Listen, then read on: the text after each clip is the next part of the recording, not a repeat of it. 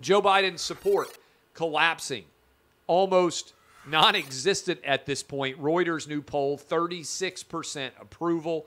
We had Quinnipiac, Civiqs, all of these numbers. Joe Biden continuing to collapse. I do not believe, talked about it on Clay and Buck to start the show today. I do not believe that Joe Biden is going to be the Democrat representative for president in 2024.